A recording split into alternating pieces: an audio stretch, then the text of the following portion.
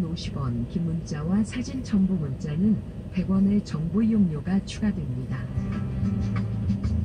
더운데 열심히 일하시는 분들과 듣고 싶어요. 2314님.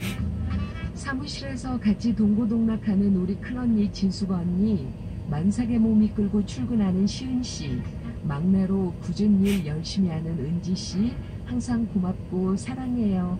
우리 여직원들과 함께 듣고 싶어요. 8293님, 홍진영의 엄지척을 신청해 주셨습니다. 군산의 동백꽃 혜진이에요. 항상 행복을 나눠주는 착한 친구가 있어요. 어느새 힘 빠질 때 긍정 에너지를 달라면 금세 전달해 주네요. 7220님,